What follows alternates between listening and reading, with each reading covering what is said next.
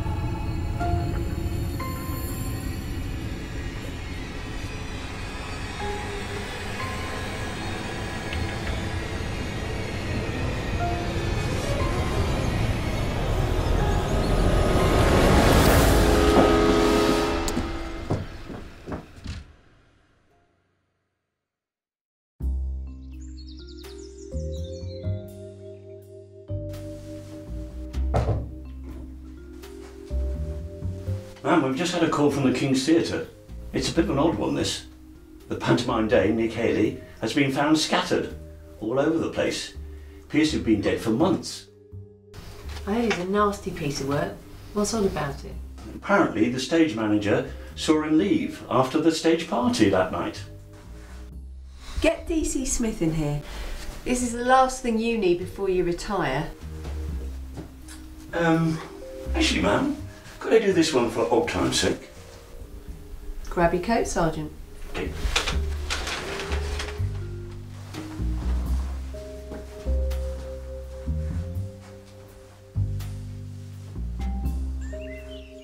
Take us back to the last evening you saw Mr. Haley alive.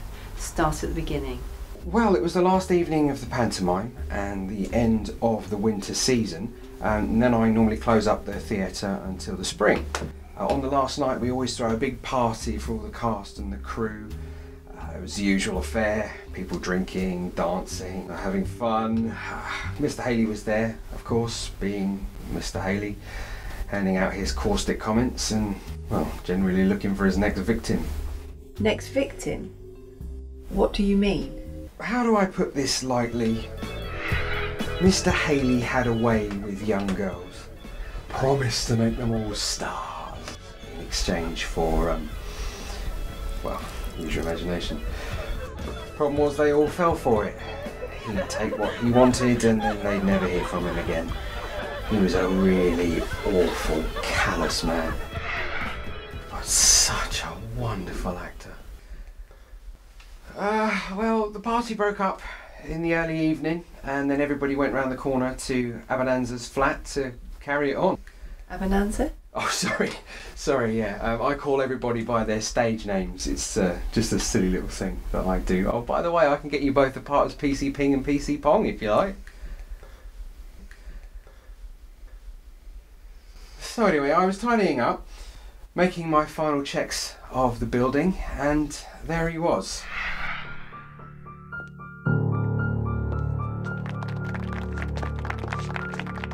Somehow he had managed to get himself another bottle of champagne, and in true Nick Haley fashion, he had gone to the stage to make his final curtain call.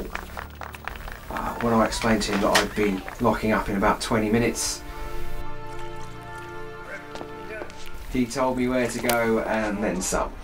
I've been. I'm a star. Uh,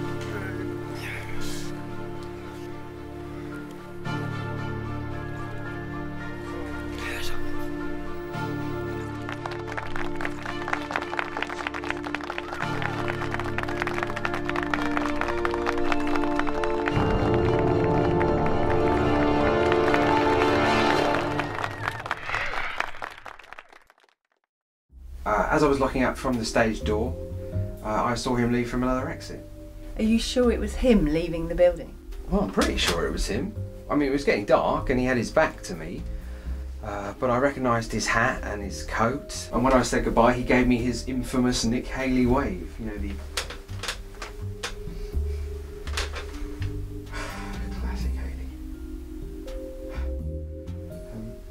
Yeah, well, I definitely remember it being him because he was wearing his favourite white deerskin gloves.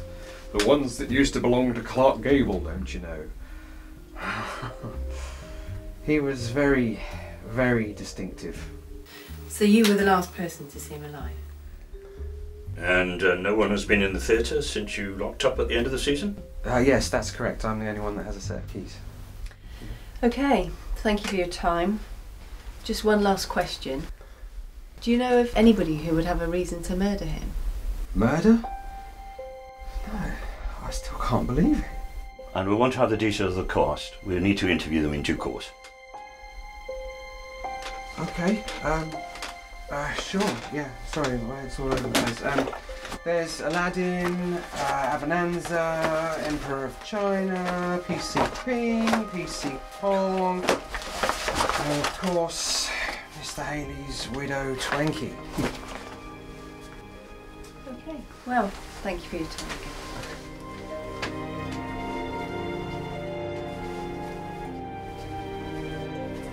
It's behind you!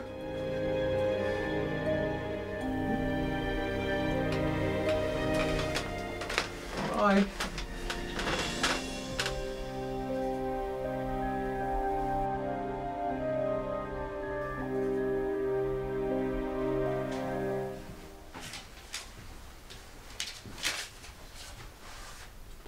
It's obvious the mystery man in Haley's coat, hat, and white gloves is our murderer.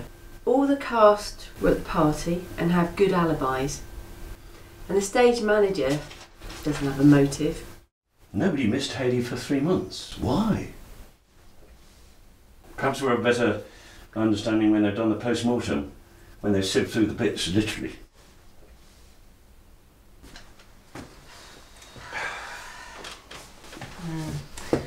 I think we're in for a long haul with this one. Mm. And I, for one, have had enough of pantomimes for one day. Mm.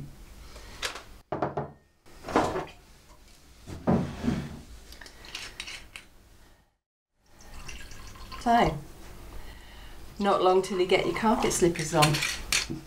You got any plans? Well, the missus and I are planning a holiday in the caravan, and I hear the Funtington players are doing Pirates of Penzance, so there might be a job for a retired policeman there. Yeah. I bet you're looking forward to uh, spending more time with your wife and daughter. Um, uh, on second thoughts, ma'am, I think I'd better make it a, an early night.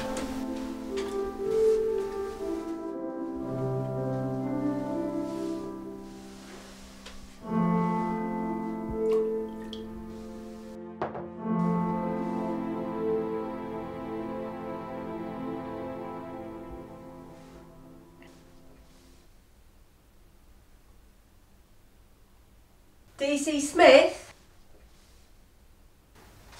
Yes, ma'am. come in, please. Sit down, Dave.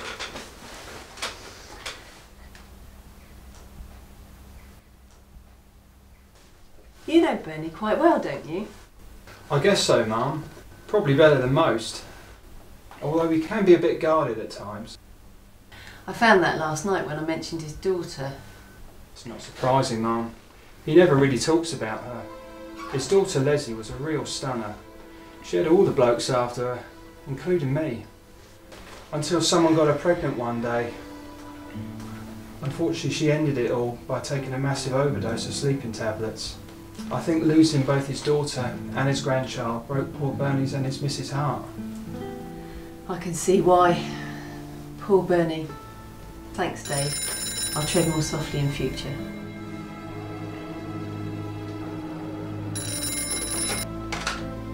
The eye Marlowe.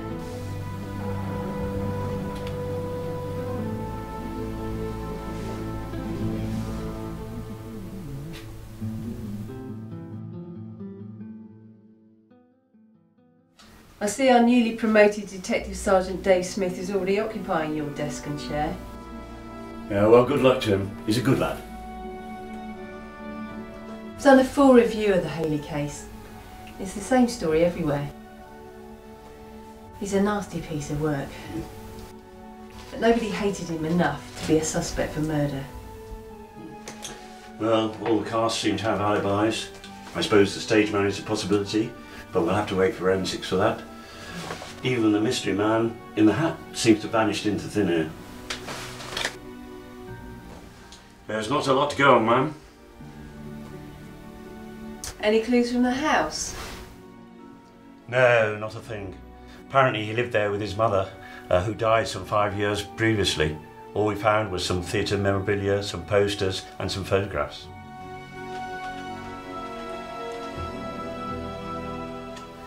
I'm afraid we have no choice but to put this one on the back burner.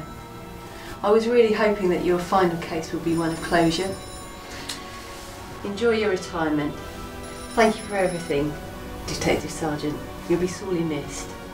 Well, thank you, ma'am. It's been short, but it's been a pleasure. Ma'am, little girl's been found murdered near Brighton. Chief Constable wants us to dedicate all available resources. Okay, let's go.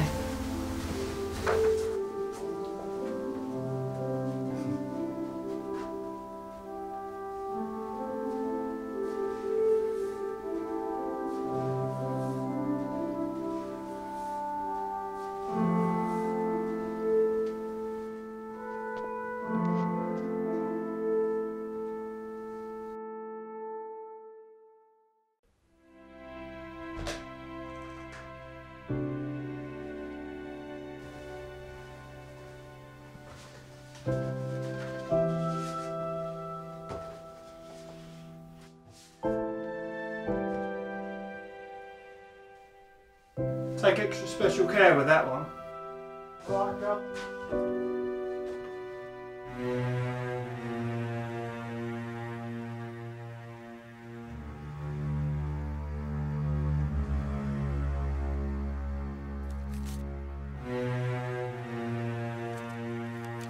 Leslie?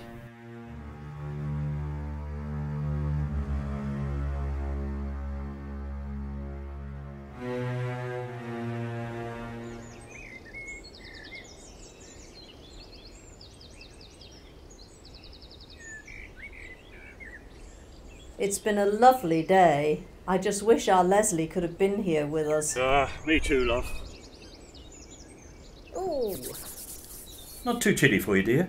No, I'm okay. It's just my hands.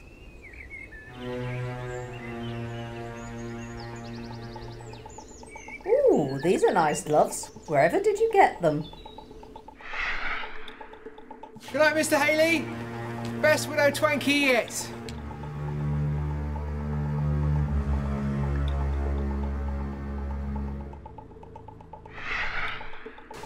Even the mystery man seems to have vanished into thin air.